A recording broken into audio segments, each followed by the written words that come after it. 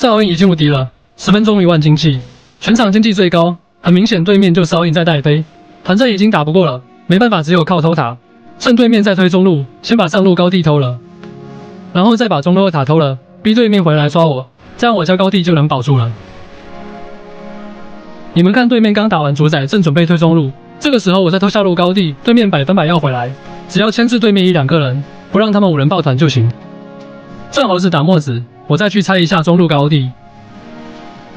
猴子敢敲过来，大招接二技能直接秒掉，这就是暗性的伤害。你们看，敖影跟蔡文姬在上路清兵线，我直接把中路高地偷了。对面只有一个敖影厉害，我们只要不跟他打架，他再厉害照样要守高地。你们看，对面视野全部暴露，那么水晶将被放空，可以偷。当团战打不过的时候，就不要强行去接团，要果断去偷塔，利用兵线去牵制对面，最后找机会把水晶偷了，这才是暗信的正确玩法。